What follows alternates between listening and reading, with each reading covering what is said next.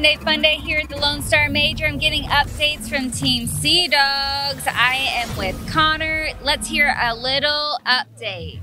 All right, so yeah, started off this tournament a little flat.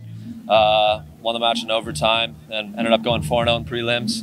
Uh, came out really strong after the first match. Uh, big win against PB Fit yesterday. Shout out to all the teams in our bracket. Gave us some really good games, helped us tighten up for Sunday. Uh, just played nasty in the quarterfinals. Uh, luckily took the win with uh, 2 1 gave us a great game, and now we're uh, moving forward playing PB Fit again. And a little rematch in the semifinals. So we're hoping to make it to the pro field. Uh, of course, shout out to our sponsors, DLX Technologies, Luxes, the TM40s are shooting awesome all weekend.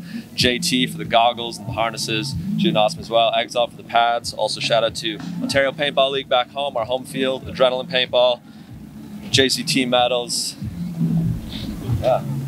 Awesome. Well, you got lots of sponsors out there for you, lots of fans here cheering you on. Let's see if we can get that win on the pro field today. Oh yeah.